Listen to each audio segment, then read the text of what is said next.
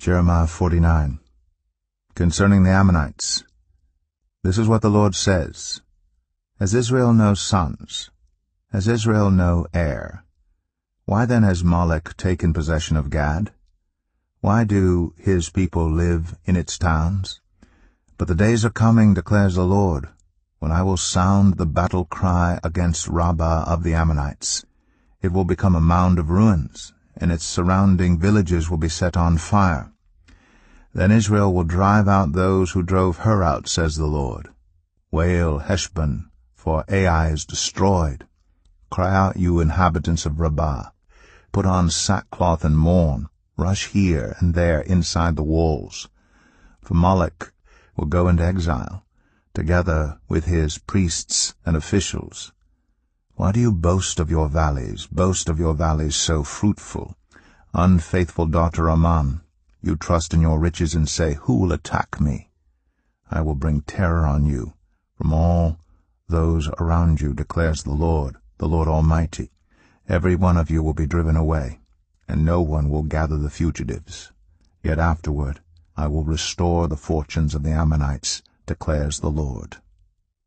Concerning Edom, this is what the Lord Almighty says.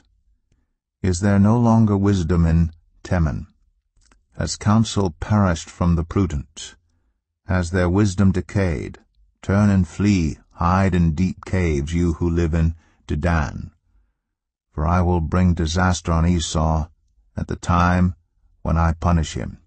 If grape pickers came to you, would they not leave a few grapes? If thieves came during the night, would they not steal only as much as they wanted? But I will strip Esau bare. I will uncover his hiding places so that he cannot conceal himself.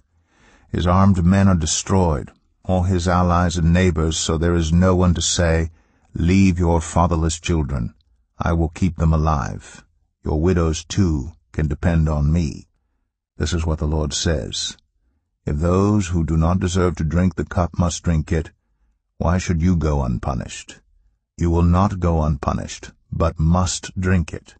I swear by myself, declares the Lord, that Bozrah will become a ruin and a curse, an object of horror and reproach, and all its towns will be in ruins forever. I've heard a message from the Lord. An envoy was sent to the nations to say, Assemble yourselves to attack it. Rise up for battle. Now I will make you small among the nations, despised by mankind. The terror you inspire and the pride of your heart have deceived you. You who live in the clefts of the rocks, who occupy the heights of the hill, though you build your nest as high as the eagles, from there I will bring you down, declares the Lord. Edom will become an object of horror. All who pass by will be appalled and will scoff because of all its wounds.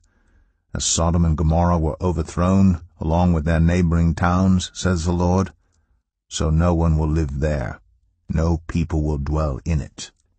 Like a lion coming up from Jordan's thickets to a rich pasture land, I will chase Edom from its land in an instant. Who is the chosen one I will appoint for this? Who is like me, and who can challenge me? And what shepherd can stand against me? Therefore hear what the Lord has planned against Edom, what he has proposed against those who live in Teman. The young of the flock will be dragged away. Their pasture will be appalled at their fate. At the sound of their fall the earth will tremble. Their cry will resound to the Red Sea. Look, an eagle will soar and swoop down, spreading its wings over Bozrah.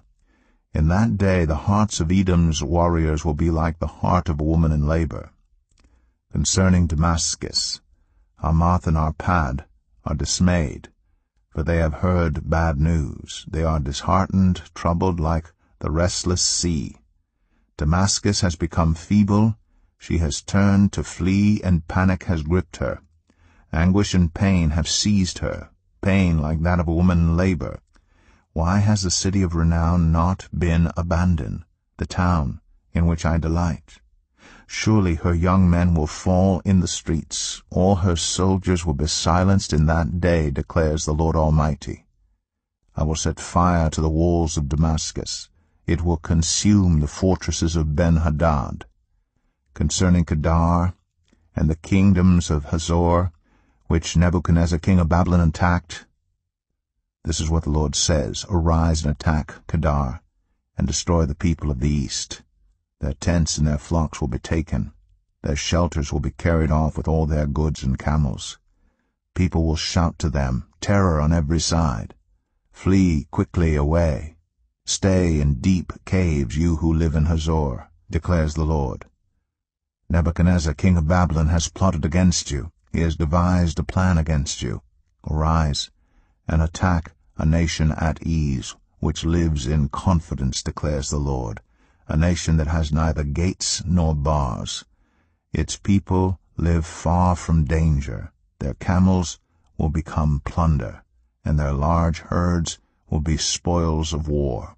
I will scatter to the winds those who are in distant places, and will bring disaster on them from every side, declares the Lord. Hazor will become a haunt of jackals, a desolate place forever.